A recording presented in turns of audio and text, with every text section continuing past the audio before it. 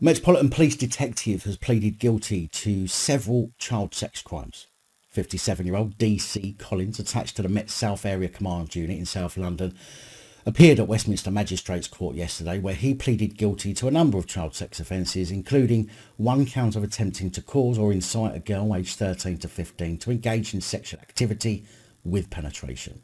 He also pleaded guilty to six counts of attempting to engage in sexual communications with a child.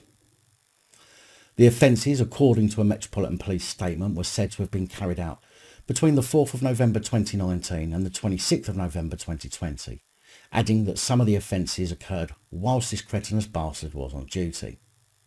The Met say that Collins is currently suspended from duty and that he will be sentenced at the Old Bailey on a date that is yet to be confirmed. Filthy. Big thank you to channel supporters, especially these guys. Your support is truly appreciated.